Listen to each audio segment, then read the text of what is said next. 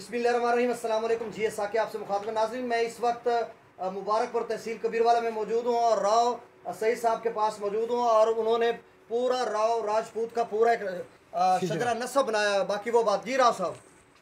जी ये शजरा है।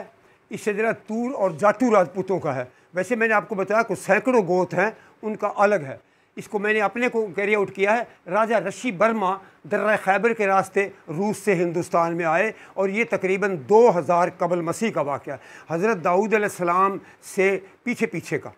उसके बाद फिर ये आज तकरीबन इक्यासी पुश्तें गुजर चुकी हैं। सबसे नीचे बॉटम के ऊपर ये मेरा पोता तलाल इमरान राव और मुनीब। ये दो मेरे पोते हैं। उंगली लगा पड़े हाँ. ये मुनीब कामरान और ये तलाल। ये तलाल इमरान राव और मुनीब कामरान ये आज मेरे पोते हैं जो इक्यासीवीं पुश्त में हैं एटी वंथ जनरेशन राव साहब आप दोबारा दोबारा उधर जाहिद अभी यहाँ से अगर आप शुरू करें तो उसके बाद राजा ऋषि वर्मा का बेटा हुआ राजा उत्तरी और एक राजा मार्च। अब हमने उत्तरी को आगे ले गए हैं राजा सोमचंद्रमान राजा ताराबुद्ध राजा चकुराज और एक राजा पोहब। पोहब आगे हमारी नस्ल में आ गया। राजा चकुराज जो था इसमें यह खासियत थी कि ये परिंदों की ज़बान भी समझता था। उसके बाद राजा जुजाती राजा संजीत राजा नलगोप ये सारे हो गए। उसके बाद फिर ये इस राव इसके अंदर आ जाते हैं राजा पीरू राजा बसदेव हाँ राजा मीर राजा मार्स राजा- राजा मान तमाम राजे हैं। मैं पहले आपको अर्ज़ कर चुका हूँ कि तमाम ये स्टेट्स के राजे ही थे सब के सब। उसके बाद चलते चलते हती के यहाँ ये बिक्रमी पाँच का वाक़ है, जो कि हज़रत ईसा अलैहिस्सलाम का पीरियड था। उस वक्त राजा हथ था। इसने गढ़ हथना नाम से एक कस्बा बसाया, जो कि आज के दिल्ली के नाम से मौसूम है। और इसी दिल्ली के ऊपर हमारी, यानी तूर गोत की जाटू गोत भी इसमें शामिल है। आगे चल के बताऊँगा कि इसको जाटू कहना क्यों शुरू कर दिया है। इस गोत की तेईस पुस्त लगातार हुकूमत रही है और मुतफ़ा तौर पर राजपूतों के दूसरे गोत इसको तस्लीम करते हैं। आखिरी जो इसका बादशाह था, वो राजा अनंगपाल था और उसके बाद फिर ये, उसके बाद भी इसको दिल्ली को किसी ने फतह नहीं किया, बल्कि पृथ्वीराज चौहान को भांजा था, दाज के अंदर, जहेज़ के अंदर अपनी हुकूमत उसको डोनेट कर दी, ताकि ये हुकूमत करेगा। तेईस पुस्त करने के बाद आदमी उकता भी जाता है, तंग भी पड़ जाता है। उसके बाद इसको टेक ओवर कर लिया। इसने पृथ्वीराज चौहान ने, जो पानीपत के जंगों के अंदर आपको पता होगा, मोहम्मद गौरी को भी शिकस्त दी। बाद में फिर शिकस्त का ख़ुद भी शिकार हुआ। उसके बाद चलते चलते फिर ये ये मुख्तलिफ़ जगह कोई किसी जगह पर रहा, ये जोधपुर के इलाके का राजा था, ये राजा राजस्थान में नरसर के मुकाम पर हुक्मरानी करता था, राजपूताना में बमुकाम खेड़ी के मुकाम पर राजा दोट हुकूमत करता था, राजा पापट जल्लू पायन राजस्थान का राजा था। इस तरीके से ये राजा जाटू और सतरावला, यानी तूर चला आ रहा था, यहाँ जाटू, एक जीत सिंह था और एक सीत सिंह था। जो जीत सिंह था उसको जाटू कहने लगे। सीत सिंह को सतरावला। लिहाजा सतरावले तूर और जाटू तूर हैं, ये भी तूर ही हैं। और एक छोटा सा गोत इसमें रागू चला है। इसके सिर्फ़ तीन गाँव थे, एक खैनग, एक रतेरा और एक लोहारी। ये तीन गाँव जो हैं, ये इसके चले हैं। और सतरावलों के तकरीबन कोई बीस गाँव हैं और जाटुओं के सैकड़ों गाँव हैं। ये खुदा की तरफ़ से इनमें इजाफा ज़्यादा होना था। अगर आप जाटुओं को आगे लेकर चलें तो फिर आप आगे चलते रहें। ये राजा रतनपाल आ गया है। ये राजा था, इसके बेटे ने बलियाली को बसाया था। इसके तीन बेटे थे। एक, इसका रतनपाल का भाई था राजा जीद। इसके जमालपुर और हाजमपुर आबाद हुए, जिनका हदूद दरबे में पहले ज़िक्र कर चुका हूँ। रतनपाल के जो बेटे थे, राजा नीम, इसने बिहाड़ी को आबाद किया, जो कि आजकल ज़िला है। राजा बाम ने बलियाली को आबाद किया, जो कि अभी ज़िला या तहसील नहीं है, वो मैंने वीडियो में बता चुका हूँ। कि कस्बा बलियाली बहुत बड़ा था, लेकिन it was little away from the main road as well as main line तो इसलिए ये ज़रूरी है कि तहसील या ज़िला हो तो कम अज़ कम वो किसी रोड हेड या रेलवे हेड को टच करता हो। उसके बाद राजा बब्वा की बुआनी और उसके बाद फिर राजा मान्ना हो गया। अब यहाँ से मुसलमानों का सिलसिला हुआ है। अब राजा मान्ना के दो बेटे हुए एक बेंजा और कामा। कामा की औलाद हिंदू है और अभी तक वो बलियाली में आबाद है। लेकिन अनफॉर्चुनेटली उनका कोई इजाफा नहीं हुआ है। वो बारह ही घर हम छोड़ के आए हैं, जबकि राजा बेंजा, जो मुसलमान हो गया था, ये ये मुसलमान हुआ और पुआरों के यहाँ इसकी शादी हुई। पुआर एक हमारा गोत है। उसके बाद ये राजा हम, यानी अपने गोत में भी शादी नहीं करते हैं। ना तूर तूर से करेगा, और ना जाटू जाटू से करेगा, लिहाजा उसकी शादी पुआरों में हुई, ये दूसरे गोत में। राजा मंगसू, राजा ताज़ा, राजा मुरादा। अब आप आ जाएँ, ये जो राजा मुरादा है इसकी औलाद जो है इसका मंगस और फत्ता हुए हैं। फत्ता जो मंगस है, इसका औलाद थी आला और आला की औलाद इस वक्त गरुचक तेईस एस पी तहसील वजीला पाकपट्टन में आबाद है इसकी औलाद। उसके बाद राजा जो फत्ता है बस। हाँ इसको थोड़ा ऊपर फोल्ड कर। ये, उसके बाद उसके बाद फिर आप इधर से आ जाए। राजा ये राजा जूहा है। राजा जूहा के तीन बेटे थे। राजा पीरू, इब्राहिम और घुरसी। इब्राहिम की औलाद जारा पाना चकबेदी के अंदर आबाद है। कुछ घर इनके दुनियापुर के अंदर हैं। अब जो गुरसी के जो बेटे थे, वो थे रामू और शाम। जो रामूपुरा है, ये पच्चीस चक पाकपट्टन में आबाद है और शाम के आगे दो मोहल्ले और हो गए सबड़ा और चूड़।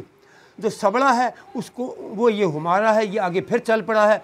फिर सबड़े के आगे बेटे ऐसे हुए हैं कि, जस्सा मोकम वज़ीरा, ये मेरी नस्ल आगे चलती जा रही है। हती कि फिर नीचे आने के बाद ये मेरा दादा था सिजावल ख़ान, हवलदार इनायत अली, दफ़ेदार हिमायत अली मेरा ताया था, फ़ौज में दफ़ेदार था। ये हवलदार इनायत अली मेरा वालद था। ये अहमद ख़ान आर्मी में नायक थे, ज़ख्मी भी हो गए थे ग्रनेड इनको लगा था और ये फ़तेह मोहम्मद मेरा चचा था, ये भी रिसाला की टैंक रेजिमेंट में मुलाजिम था। आगे हवलदार इनायत के चार बेटे हुए, अब्दुल मजीद, सुबेदार सईद माई सेल्फ और मलक मोहम्मद अली अफसर। उसके बाद फिर सुबेदर सईद के मोहम्मद इमरान सईद और कामरान सईद। उसके बाद इमरान सईद का, तलाल इमरान राव और कामरान सईद का मुनीब कामरान। ये इस वक्त मेरी इक्यासीवीं पुस्त का ये आखिरी जनरेशन वो ये है। इसके और मज़ीद इस बलियारी का हाँ फिर उसके बाद ये रामू तो पच्चीस शक में मैंने बताया था उसमें आबाद हो गया। इसके अलावा इस बलियाली से निकल कर कई और गाँव आबाद हुए हैं। दाएंग, छोटी दाएंग अलखपुरा उसके अलावा इसमें किरौड़ के अंदर चले गए थे कई गाँव। सुई एक गाँव था। ये बलियाली से उठ उठ के किसी नाराज़गी की वजह से इन्होंने अलग गाँव बसा लिए। और अगर वो गाँव भी आज इसके अंदर शामिल हो तो मेरा ख्याल है कि कहीं कोई कोई ज़िला भी इतना बड़ा नहीं होगा। मैं विजिबल हाँ मैं विजिबल कर रहा हूँ। हाँ सही ये कुछ तहरीर हैं जो कारनामे बलियाड़ी गाँव ने किए थे उसमें जो मशहूर मशहूर चीज़ें थे इसके अंदर राजा चंद्रभान है ये बहुत दलेर राजा होकर गुजरा है ये ये चार अगड़ी हुए हैं। अगड़ी होया फतेह सिंह राजा चितौड़ी अगड़ी होया मान सिंह जिन अटक तोड़ी अगड़ी होया दुल्ला फरीद का जिन लुट्टी मुगलानी अगड़ी होया नर चंद्रभान तपिया बयानी। ये चंद्रभान मेरा दादा था ये बिहानी में चला गया था। इतने इसने इतना बड़ा मुस्तकर या एक फर्म बेस बनाया हुआ था कि बग़ैर खराज और टैक्स लिए हुए किसी राजे में राज्य को अपनी हदूद से गुजरने नहीं देता था। ये ये ये अगड़ी हुआ है। उसके बाद चलते, फिर एक रज़ा का बात हुआ है। हम नान के दाज आप उसको कहते हैं। इसने इतना ज़बरदस्त बात बनाया था अपनी भांजी की शादी में कि जो आज तक इसको गवैये गाते हैं और इतना बड़ा बात ना इससे पहले किसी ने दिया है और ना शायद कोई अगली नस्ल दे पाएगी। उसके बाद इसकी बलियाली का। बाकी मोस्टली मैंने आपको बताया था कि ये सारा फ़ौजियों का इलाका था। वर्ल्ड वार फ़र्स्ट के अंदर इसके साढ़े चार सौ आदमी थे। उसके बाद जंग अजीम, जिसको आप ये हम लोग गदर कहते हैं, जंग आज़ादी अंग्रेज़ कहते थे, अठारह सौ सतावन की जंग के अंदर इन पाँच गाँव का इतिहाद था। मंगाली, सिवानी जमालपुर हजमपुर और बड़ियाली। ये जथा बनाकर भेजते थे कि इतनी आर्मी फलां चले जाए इतने लोग फलां जगह चले जाएँ और अंग्रेज़ों का मुकाबला करने के लिए। उसके अलावा हाँ इसका थोड़ा सा ऊपर विजिबल कर लें। हाँ बिल्कुल असल में इसकी लेंथ ज़्यादा और लेंथ मैं ये सोच रहा हूँ आगे आगे जाकर ना फिर अच्छा, एक दफ़ा ना मुझे इसकी ना राव साहब इसकी हाँ, हाँ, पूरे पूरे की मतलब मैं एक दफ़ा ले लूँ और उसके वाइंड अप करते हैं। और अगर किसी दोस्त को चाहिए होगी तो वो मुझसे कांटेक्ट कर ले। एक दिन पहले मुझसे अवेलेबिलिटी मांग ले मुझसे और मुझसे कांटेक्ट कर ले। मैं तमाम इंटरव्यू पर यही कहता हूँ कि अभी आवाज़ जा तो नहीं रही है? आवाज़ जा रही है जा रही है ठीक। अब बोलते रहे बस ऐसे बोलते रहे। पर यह है कि अगर किसी आदमी ने कोई राजपूतों के बारे में या अपने गोद के बारे में कोई मालूम अगर हासिल करनी हो तो वो मुझसे रबता कर लें। लेकिन कम अज़ कम एक या दो दिन पहले मुझसे अवेलेबलिटी मांग लें कि मैं ऐसा ना हो कहीं मैं हाजिर आपको ना मिलूँ और आपको हर किस्म की मालूम इन यहाँ से मुहैया होगी। और ये हमारा एक किस्म का असासा है ये एसेट है और अपने आबा अजदाद के बारे में जान इस्लाम भी मन नफ़ी नहीं करता है। पहले मैं बता चुका हूँ कि इस्लाम के अंदर आयत उतरी है। उसका तर्जमा यही है कि आपको मुख्तलिफ़ हिस्से और कौमों में तकसीम कर दिया गया है ताकि आप लोगों की एक दूसरे की पहचान हो सके। और ये राजपूतों के तू तूर और जट्टू गोद की पहचान है जो आपके सामने ये लगी हुई है। राव साहब राव सही साहब आप मुबारकपुर में रहते हैं तहसील कबीरवाला में रहते हैं।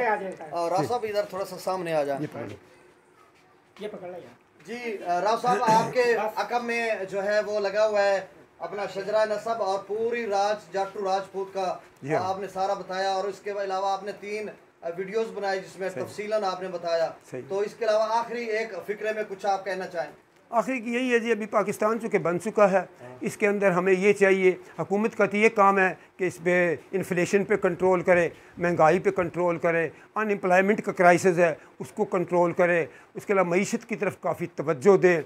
और जो कोई कौमी मसला है, जैसे कश्मीर का मसला है, या कोविड का मसला है, इसके ऊपर पार्टी और सियासत को भूल कर सबको यकजा इकट्ठे होकर एफर्ट करनी चाहिए। या अभी इसको रिकग्निशन का मसला चल रहा है, अफ़गानिस्तान का, इसके ऊपर भी सही मुतफ़ा तौर पर तमाम पार्टियों के एक प्लेटफार्म पर आना चाहिए। और गवर्नमेंट को चाहिए कि वो पार्लिमानी इजलास बुलाए और तमाम पार्टी लीडरों से राय हासिल करे और उसके बाद फिर है। उसके अलावा तालीम और एजुकेशन, सस्ता इंसाफ इन चीज़ों की तरफ़ तवज्जो दे। इसका बड़ा फुकदान है आजकल। लिटरेसी रेट हमारा कहीं एथोपिया के करीब चला गया है। अगर हम अपने पड़ोस में देखें, इंडिया और बांग्लादेश में तो लिटरेसी रेट उनका बहुत ज़्यादा है। चाइना का बहुत ज़्यादा है। ये तमाम ममालिक जो है, ये गुरबत से तब निकले हैं कि इन्होंने लिटरेसी रेट को इम्प्रूव किया है, तालीम हासिल की है। जितनी गुरबत चाइना में भी थी, सौ साल ग़ुलामी करने के बाद चाइना आज़ाद हुआ है। हमसे बाद आज़ाद हुआ है और इस वक्त अगर देखा जाए तो सबसे बड़ी सुपर ताकत चाइना ही है, क्योंकि इसका पोल अभी कल ही खुल गई है। अब ये जो इसने एवेक्वेशन यहाँ से अचानक सडनली अमेरिका ने किया है, इसके बाद इसको लोग सुपर ताकत तस्लीम नहीं करते हैं। लिहाजा अभी यही है कि अपने मुल्क और कौम के लिए सर धड़ की बाजी लगा दें और ज़ाती मामला को भूल जाएँ और एक झंडे तले इकट्ठे होकर इसकी मुल्क की हिफाजत करें। और यही है वमा अलैना बला बहुत शुक्रिया सर। बहुत शुक्रिया राव